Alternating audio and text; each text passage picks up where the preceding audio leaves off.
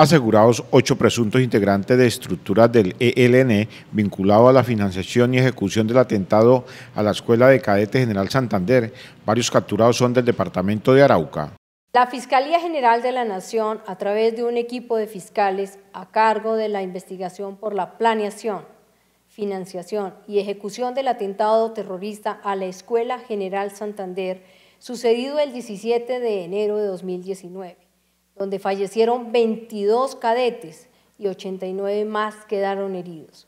Le formuló imputación a ocho personas que fueron capturadas el pasado 2 de julio como presuntos responsables de estos hechos, quienes no aceptaron cargos. El abundante material probatorio obtenido en el trabajo investigativo articulado de la Fiscalía General de la Nación y la Policía Nacional permitió judicializar a ocho personas señaladas de participar en la acción terrorista contra la escuela de cadetes.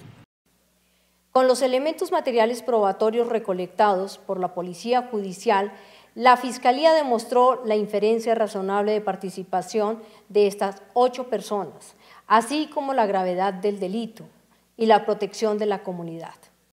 Por la supuesta responsabilidad en la planeación y ejecución del ataque, un fiscal de la Dirección Especializada contra las Organizaciones Criminales imputó a André Felipe Oviedo Espinel, alias Jesús o Barbas y siete más.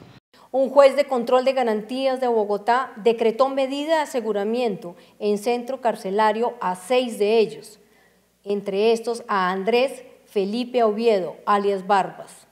Asimismo, ordenó a dos de ellos medida de aseguramiento domiciliaria.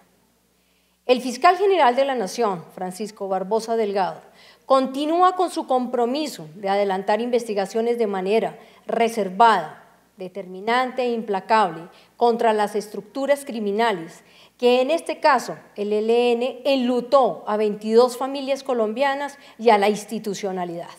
Por solicitud del fiscal del caso, Jesús Obarbas, Maco, Jessica y Toño recibieron medida de aseguramiento en centro carcelario, mientras que Carlos Arturo Marín Ríos, alias Marín, fue cobijado con detención domiciliaria en atención a su edad y una condición especial de salud.